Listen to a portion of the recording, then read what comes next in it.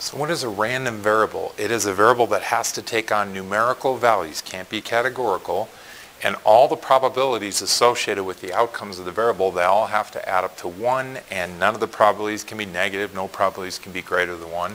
Let's suppose you've planted four exotic plants at four different locations around town. And uh, these are the probabilities. X, the random variable, is how many of those four plants are going to survive and, and do well. And these are the probabilities then. The highest probability is that two out of the four plants will succeed. That's 40%. Notice all the probabilities add up to 1.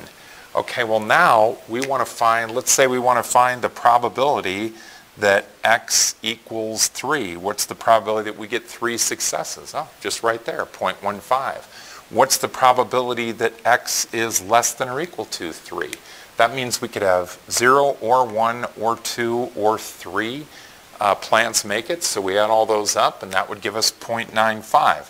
Hopefully you see the quickest way to get that is just to realize you can do 1 minus the 0.05, the only thing that can't happen.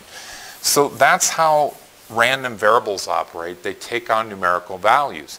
But sometimes it's number of successes, sometimes it's something else. Let's suppose that we're going to pay $500 for every exotic plant that thrives, that survives and makes it. So now we could state, in, state that instead of the random variable being the number of successes, we could say that the random variable is now how much money you're going to make. So if none of them survive, you make $0. If one survives, you get 500. If two, it's 1,000. If three, it's 1,500. And if it's four, it's $2,000. So now the random variable is, a, uh, is how much money we're going to make. It's still numerical, and it's still based on these same probabilities right here. A lot of the problems you're going to see on my assignment and perhaps on an AP exam is that you're going to be given a game that involves rolling a die. Let's suppose we know that the outcomes on a die could be 1, 2, 3, 4, 5, 6, and the probabilities for each would be 1 sixth. And so what we could do is we'd say, well, all right, this would be the probability distribution that um, for the number rolled on a particular die, but what if instead we played a game where we said, well, you know what? If you roll a 6, you get 10 points. If you roll a 5, you get 5 points. And if you roll anything other than that, you get 0 points. Well, now the random variable takes on the points that are assigned.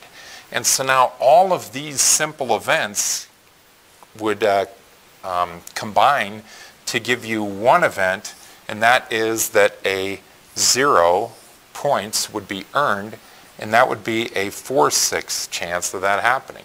The probability of getting 5 points would be 1 6 and the probability of getting 10 points would also be 1 6 So yes, you did need to know about the outcomes on the die, but once to get probabilities.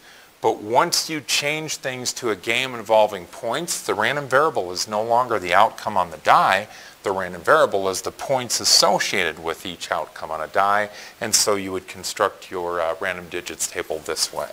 So, and then also on the video and in some of the more challenging uh,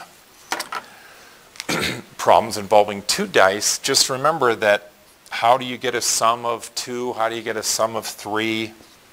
Well, if you look at that lattice diagram, or if you can think about uh, how to show what the sums of the dice would be, then how many ways can we get a sum of four? We can get a two and a two, a one and a three, and a three and a one on the die. How many ways can you get a five? You could get a two and a three, a three and a two, a four and a one, a one and a four. So when you're calculating, ooh, what's the probability of getting a number that's at most five when we're taking the sum of two dice, you're just going to have to stop and think about, well, how many ways can that happen?